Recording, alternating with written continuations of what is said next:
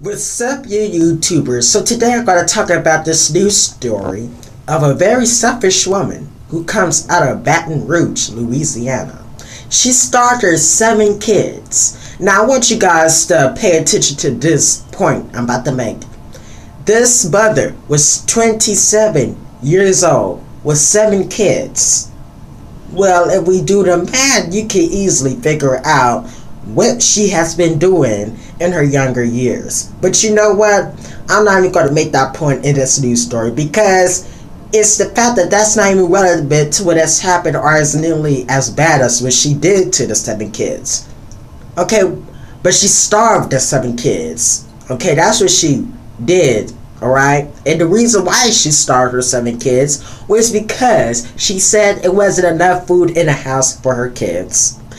And not only was that what she said, but she was also a fat woman. Now I want you guys to look at this picture of her.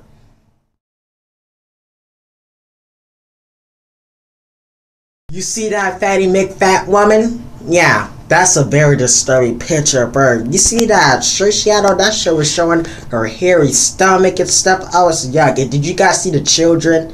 The children look like a real skeleton just walking around. Very, very sickening. You you can just look at them and tell they're not healthy at all. They haven't been eating or nothing. And you wanna know why? Because everything in the house that has food in it is locked up. This crazy selfish trifling woman locked everything up in a house that has food in it just so that her kids can't get that because she uses the excuse of her being obese as a way to say that there's not enough food for you kids, you seven kids. And the fact that she has seven kids makes her even more trifling. Alright, if you go have seven kids, you need to make sure you take care of them. Okay, instead of trying to starve your seven kids, because now you're going to spend time in jail. I don't understand. Every time I think about it, my feelings can't explain why you gotta be so trifling.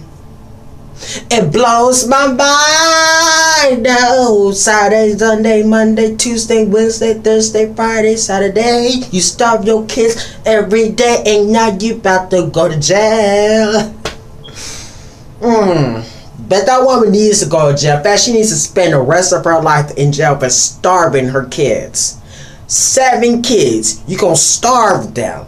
If you didn't want to have them kids in the first place, well, you should have thought about that before you. Nah, I'm not even gonna bring that up, but you should have been thinking. Instead of having seven kids. Seven kids. That just shows the type of world what a mother you are. Seven kids and you just gonna starve them. Just starve them. Lock up everything in your house that has food in it.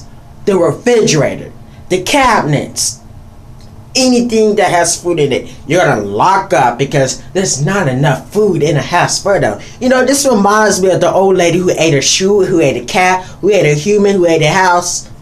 She got so big, she kicked her kids out because there was enough room in the house. And I bet this is what is going to happen with this woman if she didn't get caught. Good thing she had some really caring neighbors who really cared about them children because them neighbors saw them kids digging out of the trash can for something to eat and they saw how unhealthy they looked. They were even like surprised to see that they looked like a real skeleton. So that's how the police came to the house and how she got arrested. But you know what? It's time that she did. You don't do children like that. When you have children, you're supposed to take care of them. Those are your responsibility. And you do anything you can. And if you ain't got much food in your house, you better treat you better put them first. Put them first. Cause those are your main priorities. Alright? But that's all I'm gonna say about this and this very disturbing news story. Alright? Hope you guys have a good day and goodbye.